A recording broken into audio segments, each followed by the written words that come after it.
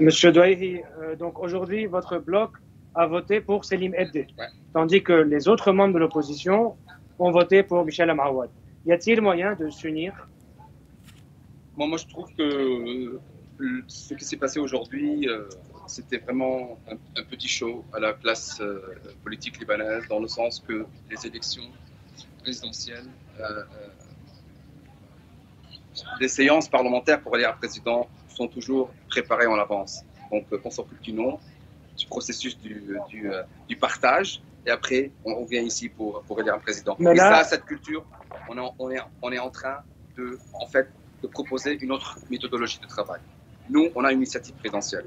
On l'a écrit, on l'a proposé, on l'a annoncé. On a fait une, petite, euh, des petites visites pour, tout, pour tous les blocs parlementaires pour leur dire qu'il y a une solution.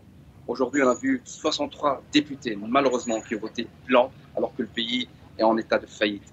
Et ça, c'est vraiment super décevant, surtout qu'on est en train de vraiment de chaque jour, de, pour, pouvoir, euh, pouvoir rester en vie, je vais, je vais dire ça aujourd'hui, de d'autres solutions, mais ça se voit qu'on on est face à une classe politique qui n'est pas, qui n'est pas prête à faire quoi que ce soit comme concession pour sauver le pays. Hier, il y avait des informations concernant la candidature de Salah Hnin, ouais. député Salah Hnin. Mm. Ce matin, vous euh, et votre, les autres membres de votre bloc ont annoncé, vous avez voté pour Salim Eddé. Est-ce que Salim Eddé, qui est, si je rappelle aussi, euh, le, si je ne me trompe pas, le président de la société Murex, connu internationalement, c'est vrai. Est-ce que Salim Eddé était euh, parmi les noms oui, de votre ça. On a, on a, à la fin, on a trouvé quatre ou cinq noms. Monsieur Hnen et Monsieur Eddé euh, on fait partie de, ces, de cette Et les autres blocs parlementaires sont d'accord Ils n'ont pas été d'accord, ils ont voulu faire autre chose, voter, comme voter blanc ou voter pour euh, M. Marouad aujourd'hui.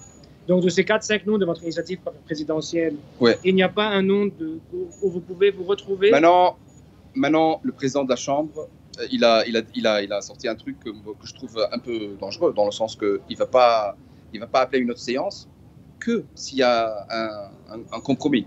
Et ça, c'est cette culture du compromis qu'on est, en train de euh, faire face à cette, culture. Et là, du coup, on va continuer avec cette initiative. On va proposer peut-être d'autres noms pour pouvoir sauver le pays. C'est le seul moyen. On, doit sortir de, de, cette polarisation 14 et 8. On doit proposer autre chose avec beaucoup de clarté sur souveraineté, mais surtout aussi de sortir, d'avoir un plan économique solide.